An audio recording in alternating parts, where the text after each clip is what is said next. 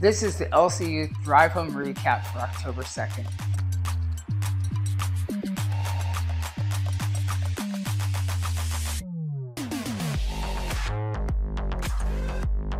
Let me ask you this Do you ever find yourself asking why?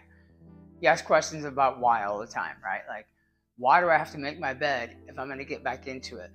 Why are we having meatloaf for dinner?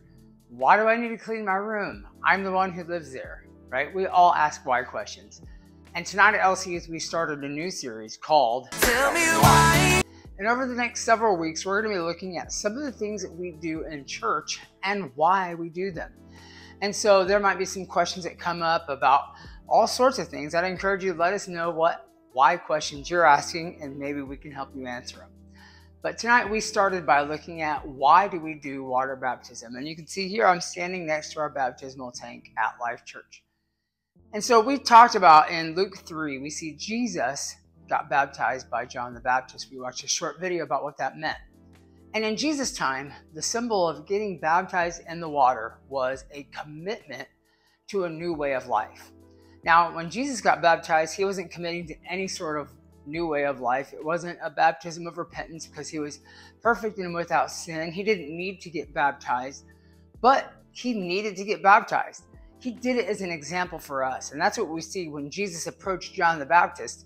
He was setting an example that we would follow thousands of years later. And so in this question, we, you know, maybe brought up why should I get baptized? We, you might ask a question of um, when should I get baptized? Do I have to be baptized in order to be saved? What, what would I do if I've already been baptized, but I really am making a commitment to follow the Lord now. Can I get rebaptized? Or what do I do if I was baptized as a baby? And those are all really good questions, and hopefully we answered some of them tonight. But the real thing is, is that baptism is a commitment to a new way of life. And that's why we have this tank and that's why we fill it up every couple months and give people an opportunity because the new way of life that we are so excited to see people committing to is a life of faith following Jesus. And all through the New Testament, we see this command over and over again to be baptized, a command to be baptized.